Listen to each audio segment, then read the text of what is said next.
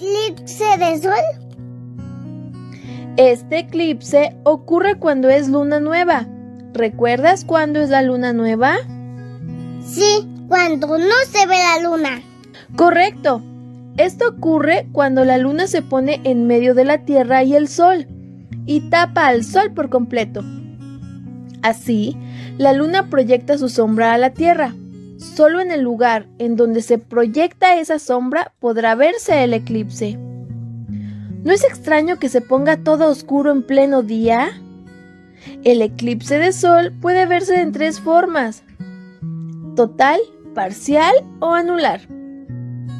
¿Cómo son? El eclipse total es cuando la luna tapa por completo el sol y se produce aproximadamente cada año y medio en algún lugar de la Tierra.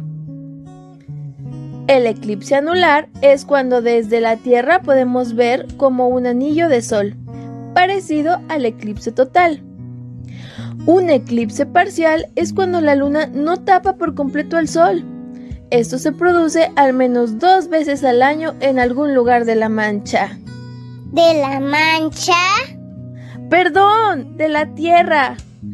Eso es otra historia. ¿Puedo ver un eclipse solar? ¡Cuidado!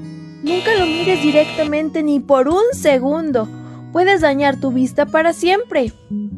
Para poder verlo es necesario usar gafas especiales para ello. ¿Los anteojos de sol sirven? No, aunque te pusieras muchos lentes de sol juntos, aún así se te dañarían tus ojitos. Vamos a ver si aprendiste. ¿Cuándo es un eclipse solar y cuándo es un eclipse de luna? El eclipse solar cuando el sol se pone oscuro. Y el eclipse lunar cuando la luna se pone oscura o roja. ¡Excelente!